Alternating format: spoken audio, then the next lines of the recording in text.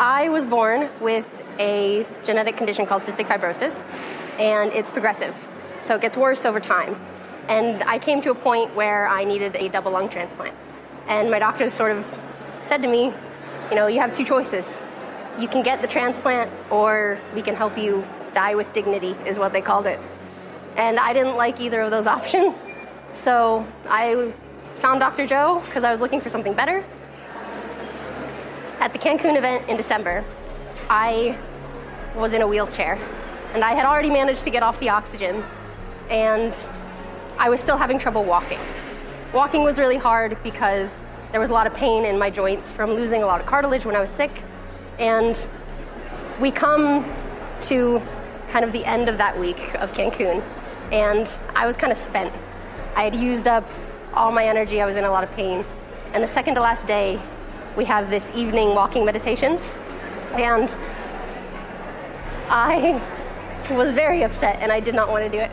And so I'm standing there because that's kind of a rule that I made for myself because I always start a walking meditation standing, not in my wheelchair. And I was kind of wrestling with myself. I was like, I don't know if I can do this without my cane. And so I was kind of like going back and forth, like, I don't want to do it without my cane, but I don't think I can. And I hear Dr. Dr. Joe's voice in my head, and he says, How would nobility walk? And I kind of got a little mad at myself, and I was just like, Not with a f- cane. And I made up my mind right then that I was gonna, I was gonna walk. I wasn't gonna touch my cane. I wasn't gonna fall down either, and I didn't care if I didn't make it 10 feet down the beach. I didn't care if my steps were an inch long. I was gonna walk and I was going to put intention into every single step. At the end of the meditation, I was done. I was just done. And my fiance had to come find me and carry me back to my wheelchair. And he's wheeling me back to the room that night. And in my head, I'm just like, I don't know how I'm going to do tomorrow. I just don't know. But we go to bed, and the final meditation of the event was Body Electric, which is a two parter. You start inside and then move outside for a walk. so I'm in the first part of that meditation, and we're watching the kaleidoscope, and I'm just kind of like letting anything happen because I was done resisting. I was just like, whatever. And as we lay down, I start convulsing, and I'm still wrestling it, wrestling with it in my head. I'm thinking like, stop acting like a fool, you know you know, cut it out. You're just doing this for attention. But then the other side of me is like, whose attention am I trying to get? Um, so I'm convulsing and I'm like, this is weird. And I'm really confused about it. And I'm, as we're walking down to the beach for the, the second part, I'm still confused. And I'm thinking, like, what just happened? And I'm standing there and we're listening to the meditation. And I'm not paying attention to Dr. Joe's voice now at all. I'm just trying to reason it out in my head. And I start to go, okay, clearly there was energy going on. And it stands to reason that it's probably still there. And so I just kind of start talking to myself and I go like, okay, this is what I'm to do. I'm to point myself in a direction and I'm to let the energy take me there. I'm just to look ahead and say go.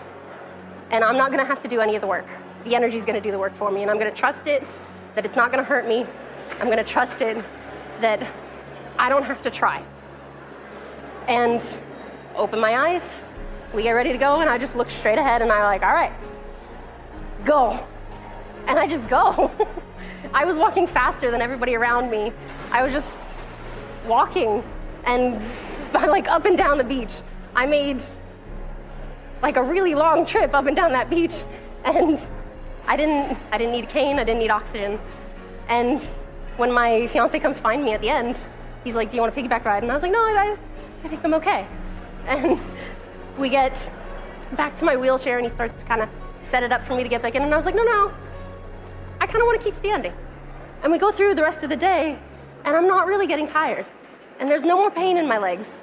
And I'm not really getting out of breath. And so, Cancun's a huge hotel. And we were walking all up and down there, all up and down there. And the entire rest of the day, I didn't need it. I didn't need the chair. He was just pushing nobody beside me. And I didn't need it the next day either, eh, or the day after that, and I haven't gotten back in it since. So that's how I ended Cancun was no wheelchair, no oxygen.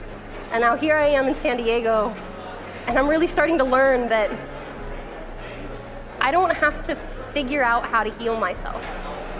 Because I used to think that I had to copy Dr. Joe and like rebuild my lungs in my head like he did his spine. That's not in my head about my lungs. I don't know how they're put together. I don't know what they're made of. But I do know who I want to be. And the future self, her body, already does this stuff automatically. I don't have to worry about doing something. I just have to change who's doing it.